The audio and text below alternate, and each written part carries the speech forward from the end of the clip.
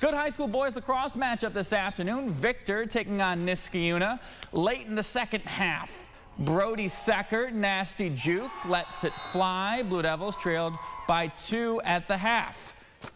Fourth quarter now, Victor now down one. Christian Besaw goes top shelf. Game now tied at eight. A minute later, Niskayuna responds. Sam Chowdhury nets the goal to take the lead. However, Victor would tie it up with 24 seconds left in regulation. Then an OT.